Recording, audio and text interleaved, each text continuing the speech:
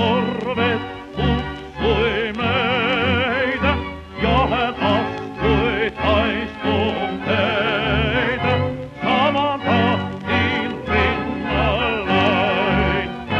Saman tahtiin rinnallain. Sota